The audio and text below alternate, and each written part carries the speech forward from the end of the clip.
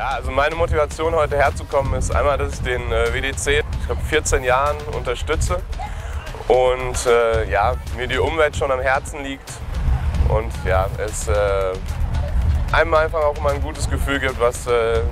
Uneigennütziges zu machen.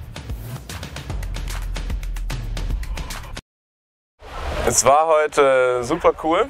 weil äh, man mit vielen netten, coolen Leuten zusammenkommt,